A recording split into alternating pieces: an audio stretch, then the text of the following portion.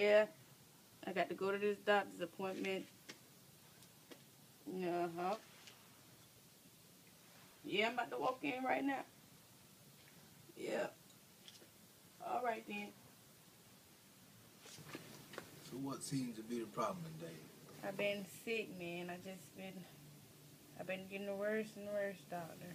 I got this lump on my neck.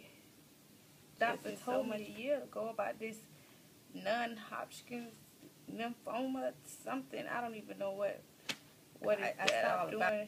You know, bad things. I'm just trying to live to see my my my grand my granddaughter be born, and and, and my daughter she pregnant, and I just I just don't know what to do. I I just need some help. I've been losing weight. All my clothes are just too big. Rashes all over my body. Night Have you sweat. been smoking any? No, no smoking. You're clean. That's good. That's good. That's very good. Uh, what about drinking? No drinking. Nothing.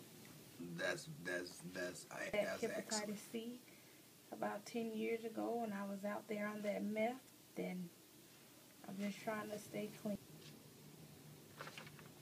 Yeah. Well, far as I can tell, we're gonna need to run some more tests. But far as I can tell from your charts, I think we'll be able to come up with a plan for you. Let me go speak with my nurses, and we'll run a few tests today. They're gonna take some blood, and we'll we'll we'll we'll get you better.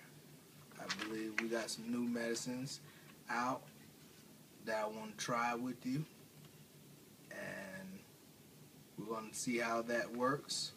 Hopefully, all goes well. That's what to do.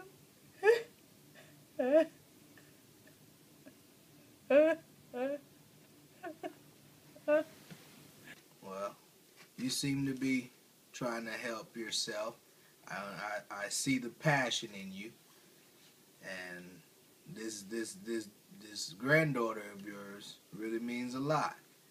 That's good. Everyone needs some motivation, especially going through a tough time.